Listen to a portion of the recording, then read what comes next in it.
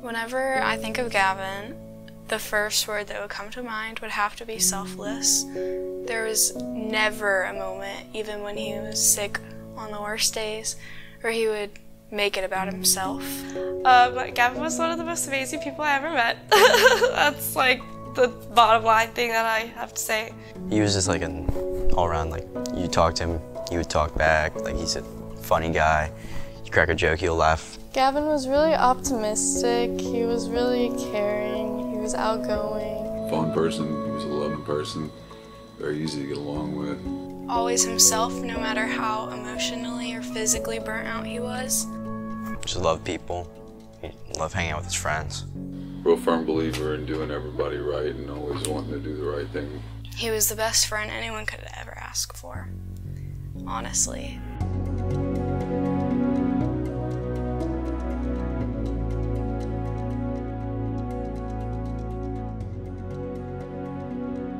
Well, we took Gavin. Um, his mother was concerned with some marks on his back and stuff. We didn't really know what it was or what had happened. Um, one day, um, his brother had hit him in the leg with a shoehorn and just playing around. And Gavin didn't feel it. Like it was nothing there. Like he was just, and I, it really weirded me out. So I mentioned it to Jennifer and just a couple other things like that. And we ended up taking him to the hospital and they first diagnosed him with uh, a Bell's palsy, and then another doctor came in and wanted to do further um, evaluation. So they did an MRI and come back and they told us that he had DIPG, which is diffuse intrin- intrinsic pontine glioma. It's a, a brain tumor, which is located in the stem of your brain and it's in a position where it can't be removed surgically without a lot of damage being done or release um, that toxin or whatever you want to call it, bacteria, into the bloodstream, which would cause problems anyway.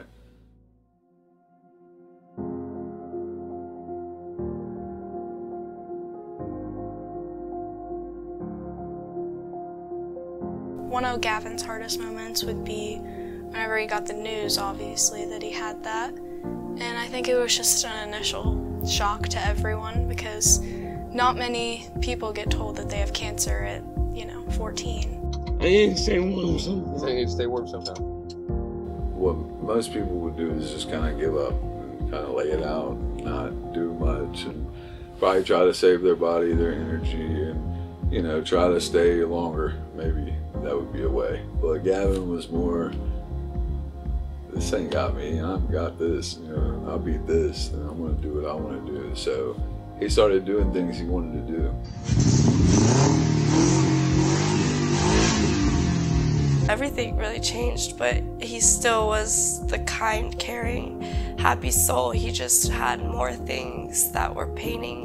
Why is he spazzing out?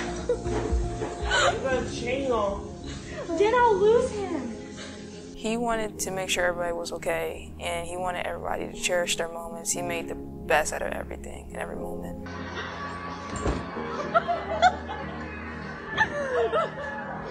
Many people were um, mean to him growing up, and whenever he got diagnosed, obviously the meanness changed. That's how people are.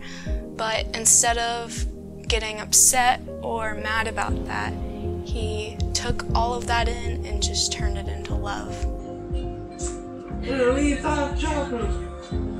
The hold in part is just that he didn't want to share that with somebody because he didn't feel like bringing you down. He wanted nobody to feel any pain he was feeling. So he meditated and it brought him ease and comfort.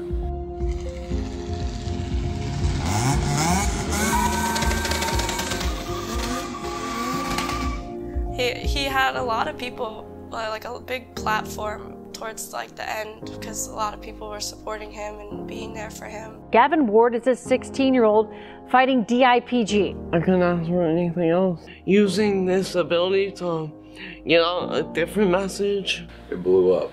Uh, it was a very big deal. Everybody just like kind of knew about him. He got this game. It was the game actually that he got out there and affected everybody. I would make my own game. I would, uh, Yeah, that would be awesome. All of a sudden, like online, you got all these kids playing the game, all these grown-ups playing the game, and like you got these kids in the hospitals playing the game, and it just blew up. Hey Gavin, it's Brian Tyler. I'm the composer for the music for the films of Fast and Furious. I can't wait to try the game. It looks amazing. We're all rooting for you. Wanted to uh, give you my best, and then I'm thinking about you. But with that video game came out Gavin's voice. Don't give up. He like talked about his story on Facebook, on news channels, on Instagram. Like the, the message he spread was amazing. He just wanted people to live life to the fullest.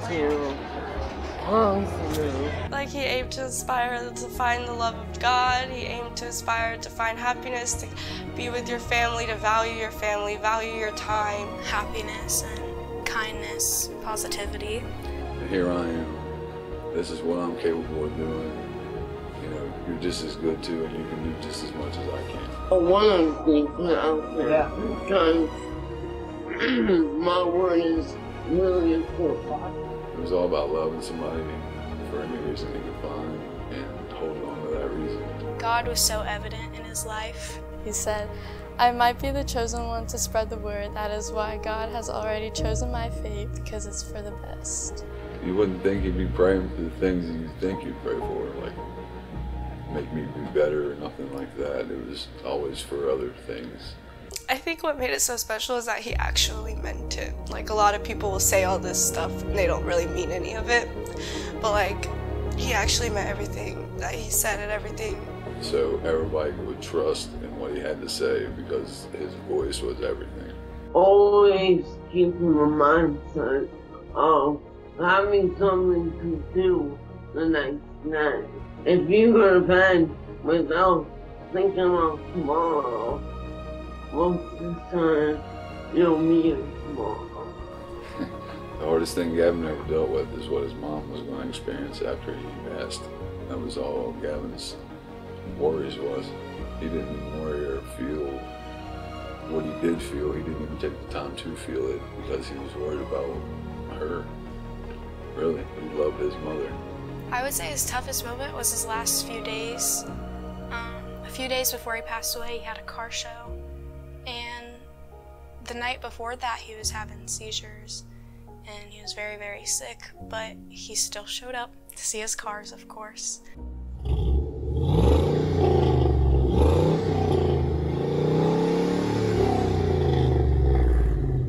Now at 11, a final lap for Gavin. Now, we first told you about 16 year old Gavin Ward just this Wednesday. He suffered from DIPG, a rare form of brain cancer.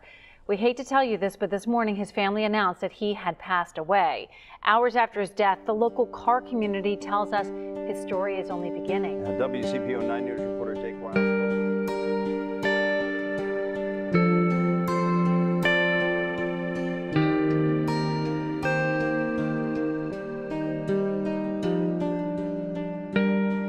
Gavin's uh, voice, it will never be forgotten.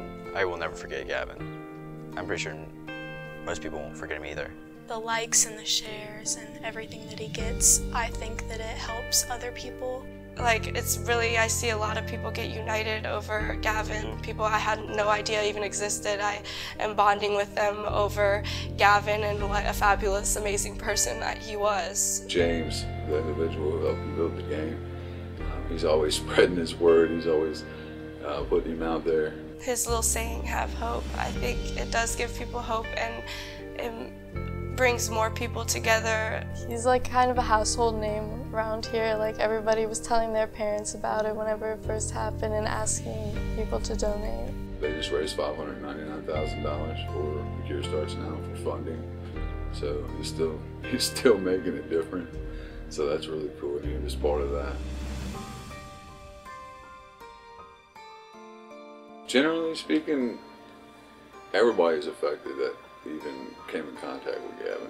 I no longer worry about the little things in life that I used to, and I cherish things more and my family more. I feel like his story made me better as a person, as a friend, as a son. There really isn't a day that I don't think about it or reflect on it. My dad and me would always talk about how we could never even imagine being as strong or as wise as this 16 year old boy was. Like, my dad would cry talking about Gavin as how strong and smart and kind. I believe that it has changed me in ways that I never thought that I could be changed.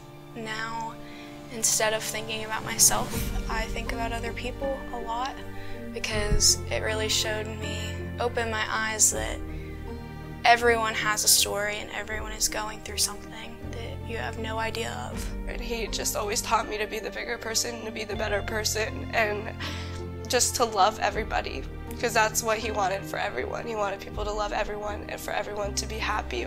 I just felt like I could tell him anything with no judgment. So I try to be that person for other people now.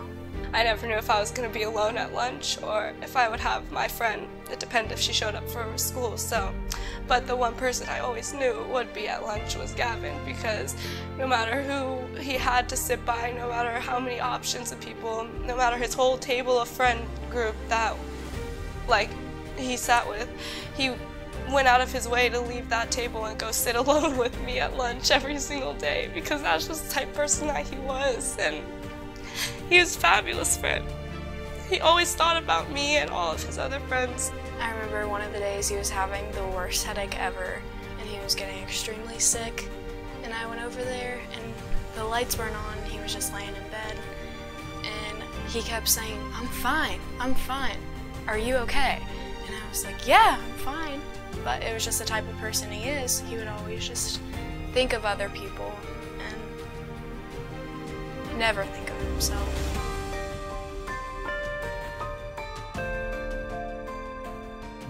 The cancer didn't beat Gavin, like, at all. Like, you would never even know. Uh, it was more woke up and Gavin wasn't here. And it was strange. It was odd. It's different. Still different. I don't know how to feel about it or nothing, but I know that uh, he didn't struggle with that at all. I think the biggest thing for all of us is just understanding to appreciate everything around you more than you normally would, just because everything to him was so valuable. The smallest thing that meant nothing to a normal person was everything to Gavin. So inspiration comes with just growing as an individual. And I think that's just across the board. Don't Take anything for granted, and you have to keep your faith and have hope. And always stay strong whatever you're doing, and no matter what you're going through, always worry about what the other person is doing across the street from you. So it's not about you, it's always about everybody else. And as far as the way he beat it was just acting like he was a normal kid without any problem. He definitely did not let DIPG define No, him whatsoever. At all, not at all. It's a spiritual, lovable human being. That's it. It's.